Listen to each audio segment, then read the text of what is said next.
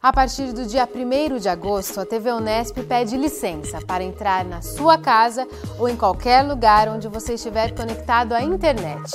Todos os dias, às 5 e meia da tarde, a gente se vê no Unesp Notícias. Aqui vamos tratar dos desafios da nossa cidade. Em Bauru, acontecem em média cerca de 17 acidentes de trânsito todos os dias.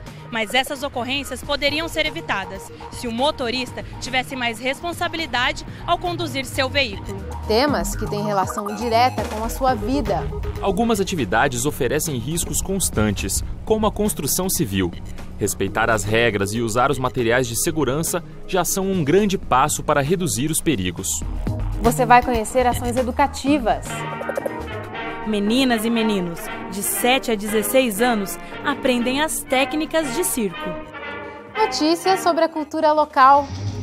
Ele e outros jovens da periferia de Bauru são praticantes de breaking, um estilo de dança que trouxe a agilidade norte-americana para as ruas brasileiras. Além de pesquisas e projetos realizados pela Unesp. Professores e alunos recebem esses atletas especiais para promover a integração e a prática de exercícios. E a gente também vai receber convidados para discutir assuntos que fazem a diferença no seu dia a dia.